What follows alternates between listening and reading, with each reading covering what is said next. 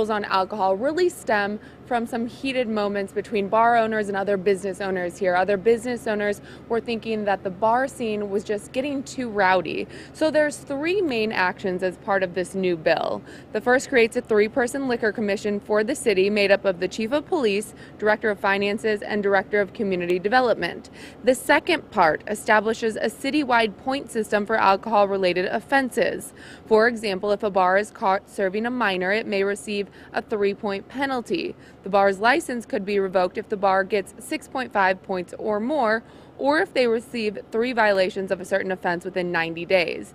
Now, the third part, and what some business owners are calling the most damaging, is bars and restaurants must now prove that at least 50% of their business comes from food sales. So many Main Street business owners like these new law. They like this new law. They say that it's best for public safety. But there's others that say that this new laws will put their business and livelihood in jeopardy. Without public safety, our ability to attract and retain talent will suffer, along with additional investment dollars that are necessary to continue the economic revitalization of downtown.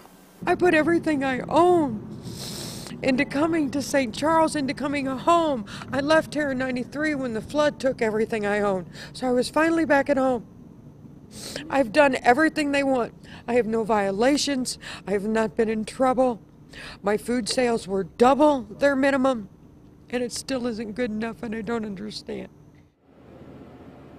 Now, that 50 50 rule on food and alcohol sales will not go into effect until January of 2019, and it won't be measured until bars reapply for their liquor license in June of 2020. Reporting live in St. Charles, I'm Katherine Hessel, Fox 2 News.